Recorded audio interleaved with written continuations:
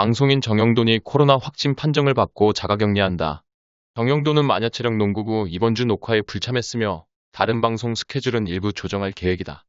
소속사 뭉친 프로젝트에 따르면 정영돈은 전날 코로나 확진 판정을 받았다. 그는 코로나 백신 3차 접종까지 마친 상태였다. 정영돈은 27일 예능 프로그램 언니들이 뛴다 마녀체력 농구부 촬영에 앞서 자가진단 키트로 코로나 검사를 진행했고 검사 결과 그는 양성 반응이 나오자 해당 프로그램 녹화는 즉시 취소됐다. 현재 정형돈은 옥탑방의 문제아들, 서프라이즈 비밀의 방, 뭉쳐야 찬다, 언니들이 뛴다 마녀체력 농구부, 요즘 육아 금쪽 같은 내 새끼, 오은영의 금쪽 상담소에 출연하고 있다. 정형돈이 확진 판정을 받고 자가격리에 들어가면서 그가 출연하는 고정 프로그램 등과 관련한 스케줄 역시 조정 중인 것으로 전해졌다.